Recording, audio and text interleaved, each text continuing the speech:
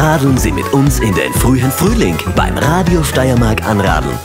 Vom 7. bis 9. April in Bad Radkersburg.